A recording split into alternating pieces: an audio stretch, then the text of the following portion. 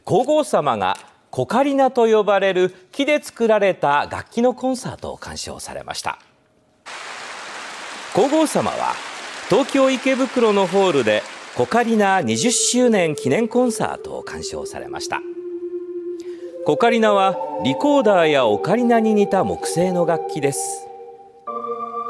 使われたコカリナは国立競技場の建て替えに伴って神宮外苑で伐採された木と津波で流された岩手県陸前高田市の松の木を組み合わせて作られたものです。同様ふるさとの演奏では楽団と一緒に皇后さまも持参したコカリナを奏でられていました。